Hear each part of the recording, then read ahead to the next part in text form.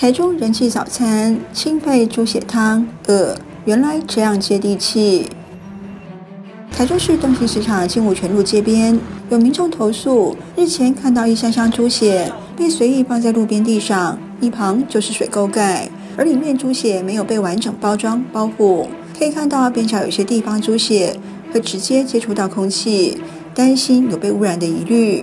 尤其是水沟旁边都会很多蟑螂啊，有时候会有老鼠什么的，直接摆在路边应该是不太 OK 啦。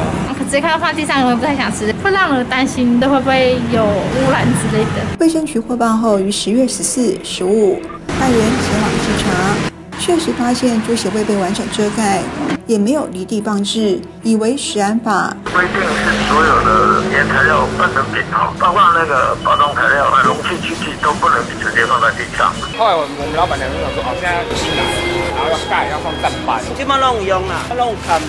你如果说包装的很好，地上至少有一个区隔，你还算合乎规定吗？”苹果新闻网十月二十深夜到二十二凌晨，连续两天观察发现，从猪血工厂送达市场，女摊商前来清洗分装好为止。猪血放置在外的时间长达三至五小时，维生二十分钟，倍数的增长，那就是开始产生毒素了，就是会造成食品中毒的一个临界点啊。卫生局表示，将不定期突击检查，若再查到违规，将依食安法开罚。如果复查还是没过，那就会罚六万以上两以下。而环保局稽查大队表示，也会派员无预警去稽查。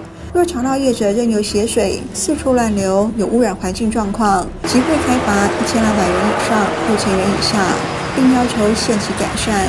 若不从再办，可连续开罚。烫百外斤呢，个人都无在好嘛，我一个查甫啦，讲我歹命未使烫到千块。东新闻台中报道。